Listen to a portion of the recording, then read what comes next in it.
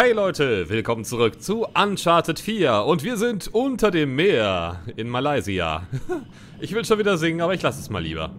Unter dem Meer, unter dem Meer, das war gelogen. Okay, äh, ich habe hier einen Schatz gefunden, den wollte ich euch jetzt nicht unterschlagen. Ein antikes Kettenschloss.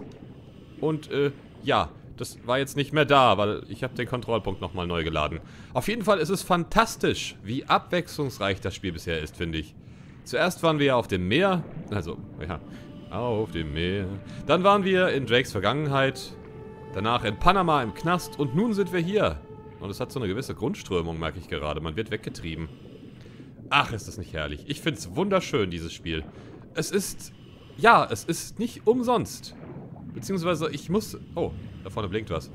Ich muss dem zustimmen, es ist bisher wirklich so die grafische Referenz für die Playstation 4. Ich habe noch kein schöneres Spiel gesehen. Und Naughty Dog hat es halt drauf, Mensch. Was ist das denn? Ein Fisch. Ich habe ihn gesehen. Ein Chiriku-Schmuckstück. Ein Hai. Mhm. Sehr gut. Was man nicht alles so findet hier auf dem Meeresgrund. Wobei, so tief unten sind wir gar nicht, ne? Ein paar Meter. Ah, ist das herrlich. Ich muss hier, warte mal. Wow, seht mal die Strömung, wie es da, da... Eben reißt es schon ganz schön, ne? Da ist wieder was. Was ist das denn? Ein Taucheranzug? Hey, ich hab hier was. Was denn? Kein Rost, richtige Farbe. Vielleicht ist es an den Felsen zerschellt und... Hey, du nuschelst. Sorry. Sieht aus wie ein Stück unseres Wracks. Muss in der Nähe sein. Du machst mich neugierig, Drake, aber sowas von. Okay. Ich würde gerne mal wissen, auf was das hinausläuft. Oh Gott, oh Gott, die Strömung. Es ist ja alles noch sehr... Man weiß noch gar nicht, um was es geht, oder? Ah. Oh, was haben wir denn da? Ist er ja. Ich hab ihn. Okay, wie sieht er aus? Mitgenommen, aber intakt. Ein Waggon? Wie ist denn der hierher gekommen?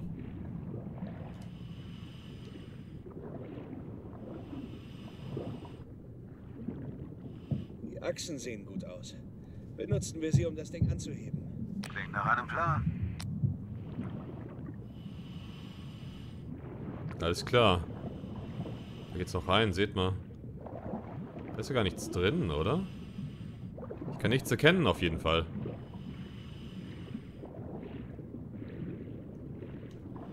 Okay, dann mal los. Ah. Ja, unter Wasser ist das alles noch ein bisschen schwieriger, mit der ganzen Trägheit und so weiter. Oh. Morgen, Leute.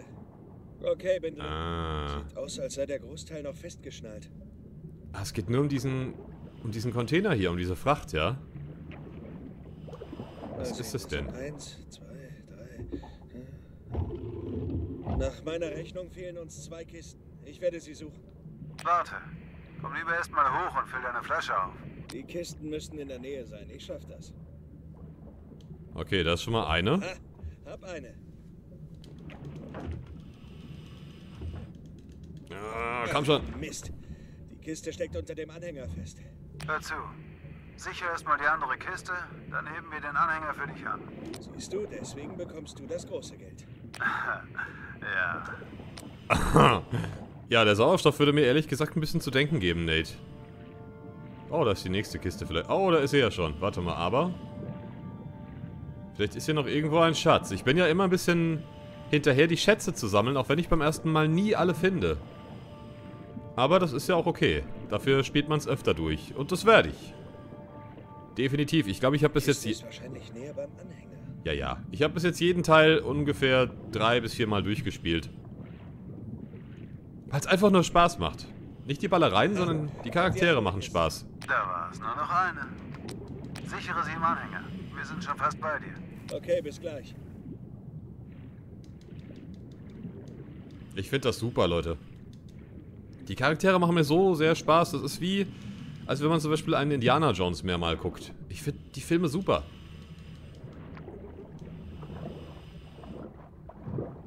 Und ebenso auch die Spiele hier. Okay, eine Kiste gesichert. Gutes Timing. Wir sind direkt über dir. Wir lassen das Seil runter. Alles klar. Wo seid ihr denn? Und nach unten. Ah. Sehr schön. Oh, das ist aber ein großes Boot, was okay, ihr da habt. Häng den Anhänger dran. Wir heben ihn ein Stück an. Okay, hab das Seil. Ich versuche es um eine der Achsen zu schlingen. Das sollte gehen. Yep. Ja. Ja, nicht festhängen, Nate. Komm. Okay, eins habe ich. Gut, achte auf deinen Sauerstoff. Ja, Das ja. passt schon. Das passt schon. Es gehört. Kommt mir gerade ein bisschen vor wie bei Star Wars. aber nur ein bisschen. Und das zweite. Okay, Anhänger gesichert. Los geht's.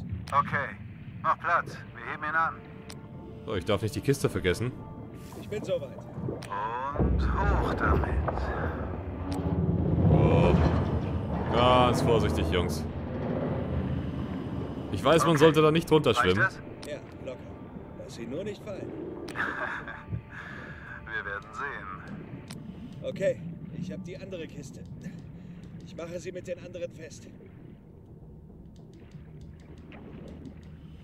Oh, Nate, ich glaube, der Sauerstoff. Es verschwimmt manchmal so ein bisschen. Vielleicht hat er schon Sauerstoffmangel. Kohlenmonoxidvergiftungen sind nicht lustig. Geht doch. Und fest zurück. Sehr gut. Das sieht doch fantastisch aus.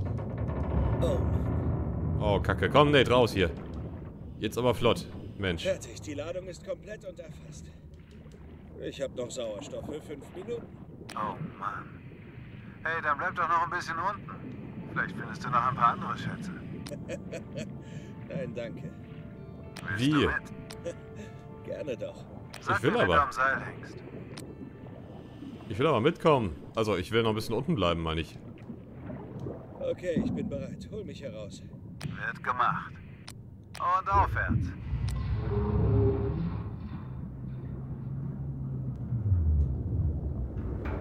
Boah, ist das cool. Ich liebe es, unter Wasser zu sein. Ich würde so gerne mal tauchen gehen. Was für eine Schönheit. Wie Wow. geht's dir? Oh, besser seit ich aus dem Fluss raus bin. Ich werde wohl eine Woche lang Fisch stecken. Okay. Wir kommen zu dir. Warte. Ich warte. Was geht so, Jungs? Ich hätte nicht gedacht, dass wir hier mitten in der Stadt sind. Cool.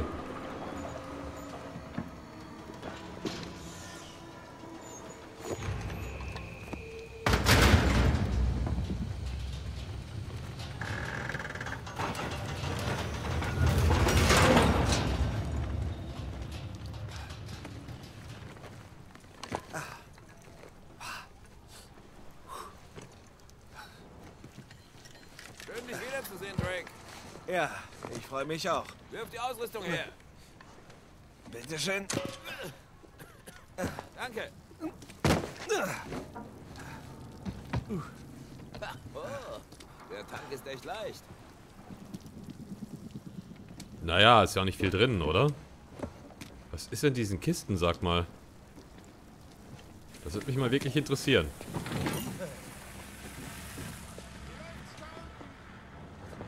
Nee, machen wir uns. Was denkst du? Vollständige Bergung? Vollständig. Neben dir wirken wir armselig. Ich lasse euch gut dastehen.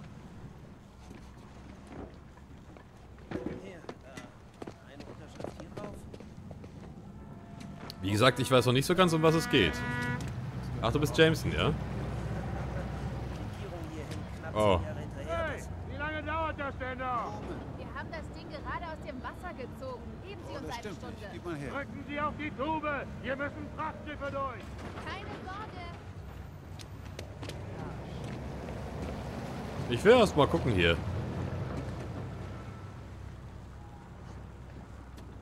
Schade, ich habe jetzt mit einem Schatz gerechnet, aber hier ist auch nichts mehr. Hey Jameson, alles gut? Reden wir später drüber.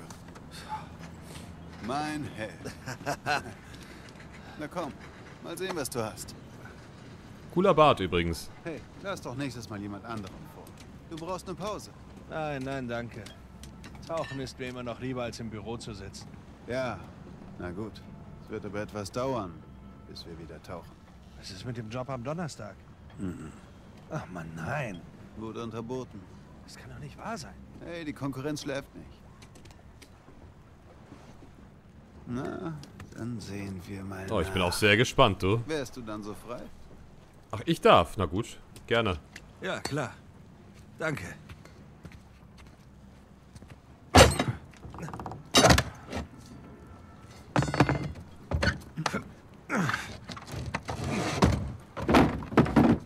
Wow. Sieh dir das an. Das ist Kupfer. Tja, du wärst überrascht, wie viel das Zeug wert ist. Der Kunde zahlt gutes Geld für den ganzen Kram. Willst du es nicht lieber zu Pennies einschmelzen? Na komm, gehen wir feiern. Die erste Runde zahle ich. Mit euch um die Häuser ziehen? nein, nein, nein, nicht ohne Gefahrenzulage. Wenn es euch nichts ausmacht, erledige ich schnell den Papierkram und zisch ab nach Hause. Ein andermal gern. Okay, wie du willst. Hey, gute Arbeit heute. Danke.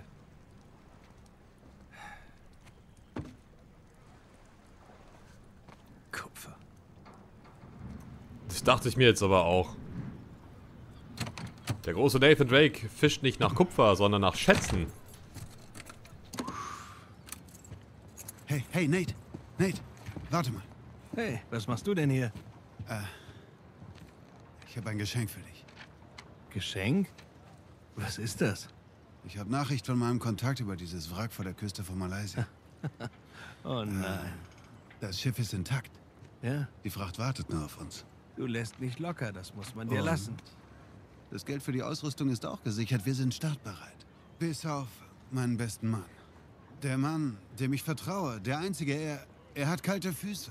Hm, meine Füße waren noch nie warm. Sag mal, dieser Kontakt von dir, hat er die Genehmigung? Nein, er hat sie Na, nicht. Okay, niemand hat eine verdammte Genehmigung. Natürlich. Aber Nate, das ist doch zu unserem Vorteil. Keine Genehmigung heißt keine Konkurrenz. Das Schiff gehört nur uns. Keine Genehmigung heißt keine Bergung. Nate, mit dem Geld hätten wir ausgesorgt. Und zwar wir beide. Okay, ich weiß ja nicht, wie es dir geht, aber ich will nicht noch mit 60 Bergungen machen. Du etwa? Besser als Gefängnis. Hm. Hör zu, ich muss ablehnen. Und das solltest du auch tun. Pass auf, nimm's einfach mit. Mir zuliebe, Ich okay? ändere meine Meinung nicht. Schadet ja nicht drüber zu schlafen, oder? Grüß Carla und die Kinder von mir, okay? ich. Kein Druck, Nate. Aber denk drüber nach.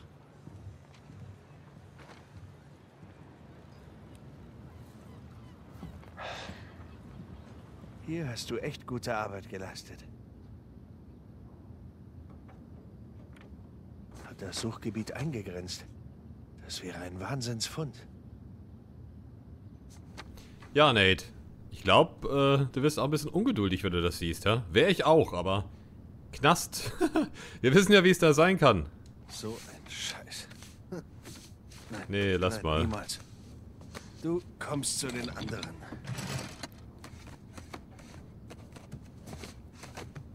Knast ist keine schöne Option, glaube ich. Ein normales Leben und ein langweiliges Leben. Das passt nicht zu Nate. Der muss Abenteuer erleben, die Welt sehen. Ich habe mal deinen großen Bruder bestiegen. Oh, stimmt, das war auch im zweiten Teil. Das fand ich ja sehr geil mit Shangri-La. Das hat wirklich Spaß gemacht. Yep. Eines der seltsameren Dinge, die ich gesammelt habe. Ja. Ein Schädel. Wir haben eine Menge seltsamer Dinge gesammelt. Oh, ist das der Ring? Eine Nein. spanische Dublone aus einem deutschen U-Boot. Mitten im Dschungel. Wer hätte das gedacht? Ah, das war aus Teil 1, wisst ihr noch? Sehr geil. Oh, Leute, wenn ich dran zurückdenke. Sir Francis Drake, das ist das Tagebuch. Sir Francis Drake opfert sich für Sully. Sieh uns nur an. Oh, schön. Found this on my old camera. Thought you liked to... Oh, da steht es auch in Deutsch. Äh, Das habe ich auf meiner alten Kamera gefunden. Ich dachte, du würdest es gerne haben. Elena. Oh, die liebe Elena. Schade, dass es mit den beiden nicht zu klappen scheint. Ich meine, am Ende haben sie sich ja verlobt von Teil 3. Mehr oder weniger. Er hat einen Ring für sie gehabt. Aber naja, das ist wohl... Wahrscheinlich der Lebensstil der beiden passt nicht so ganz zueinander. Für dieses Zeug sind so viele Männer gestorben. Ach, das ist das Harz aus Shangri-La. Ja, dieses Baumharz, das viele Kräfte verleiht und auch endloses Leben, aber leider ein bisschen wahnsinnig macht. Shambhala. Ja. Habe ich Shangri-La gesagt? Ich meine Shambhala natürlich. Fehlst mir, Kumpel. Ach, Tenzin, guck mal. Ja, Nate und Tenzin. Oh. Ja, das war ein netter Kerl. Den haben wir zwar nicht verstanden, aber er war nett. Doch, doch. Ach, Leute. Ich werde so ein bisschen schwermütig, aber andererseits, ich könnte es ja auch jederzeit nochmal spielen, die Spiele. Was ich wohl auch tun werde, wenn ich das hier durch habe. ich kenne mich doch. Sir Francis und seine raffinierten Rätsel. Ah, das war aus Teil 3 übrigens. Da musste man den Ring in der Mitte einsetzen und das war dann so ein Dechiffriergerät. Ah, sehr geil, Leute. Das ist so cool, die ganze Zeit hier auf den Pfaden der Vergangenheit zu wandeln. Ich habe gerade richtig Spaß.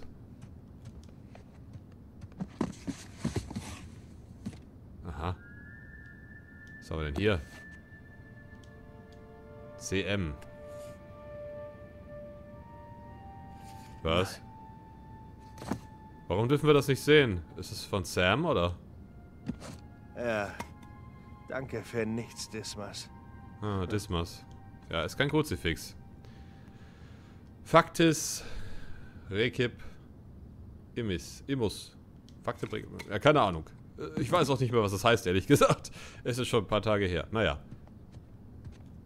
Die Fakten werden uns ans Ziel... Oder irgend sowas. Ich will mal schauen, ob ich nichts vergessen habe. Wie lange ist das jetzt? Ah, ist schon ein paar Jahre her mit seinem Bruder. Andererseits, ich glaube halt nicht daran, dass Sam schon tot ist. Äh, wahrscheinlich. Es ist natürlich immer noch die Möglichkeit, dass Sam doch tot ist und wir erleben dann nur so Ausschnitte aus der Vergangenheit. Aber ich glaube nicht dran. Hat er da eine Spielzeugpistole? Ja.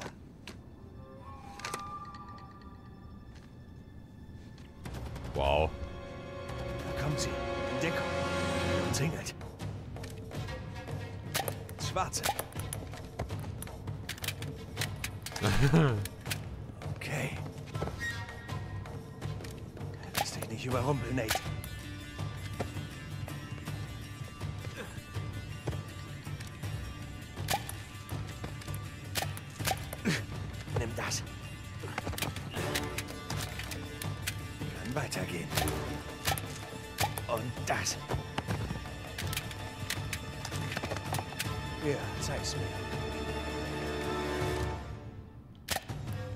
Ich sag ja, er vermisst das alles so ein bisschen, ne? Friss Plastik. Hab dich. Ich find's lustig. so, das war's, oder? Wir haben alle erwischt. Wer fehlt noch? Oh! Ja, bin gleich da. Oh! Okay, dann nehme ich alles zurück. Es hat wohl doch geklappt mit Elena. Ach, ist das schön. Oh, Schluss mit den Spielchen. Wirklich? Die wohnen jetzt zusammen? Ach, das wäre super, Leute.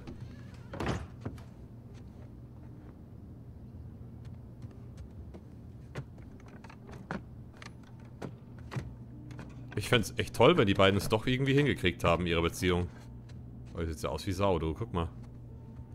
Ich glaube, ihr seid nicht sehr ordentlich, ihr beiden. Oh nein, sind sie nicht. Guck mal. Ja, der Spielplatz ist auch ganz schön wüst.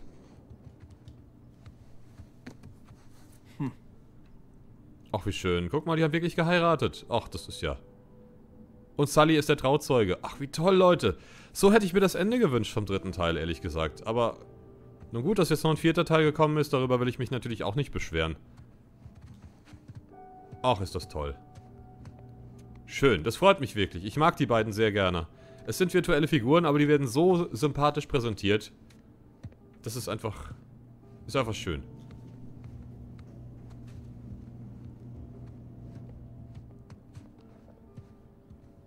Hm.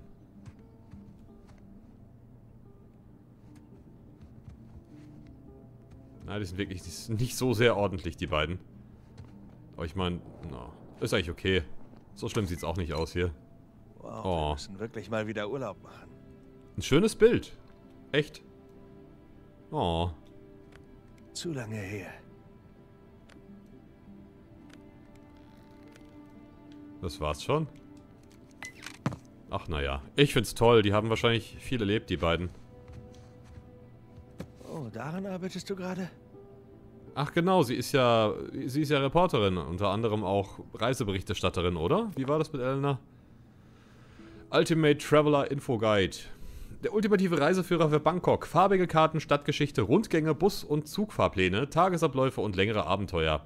Hotels, Hostels, Bars, Nachtleben.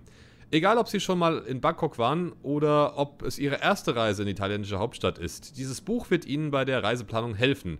Von den üblichen Touristenzielen bis hin zu Abenteuern abseits des Touristenrummels. Besuchen Sie den großen Palast des Lak Myang Schrein auf der historischen äh, äh, Ratanakosin-Insel. Entdecken und probieren Sie die Waren des Chatumak-Markts. Finden Sie heraus, wo man am besten etwas trinkt, ein Tuk-Tuk herbeiwinkt und anschließend übernachtet. Vollgepackt mit Ortskenntnissen können Sie mit diesem Reiseführer das Beste aus Ihrer Reise machen. Ach, ist das schön. Bangkok-Reiseführer. Schön. Ach du. Finde ich nett. Finde ich sehr nett. So, aber Leute, bevor ich jetzt die Spannung noch weiter auf die Spitze treibe, wie es denn aussieht mit Elena, mache ich hier Pause. Ich danke euch fürs Zusehen. Wir sehen uns wieder zum nächsten Part von Uncharted 4. Bis dann.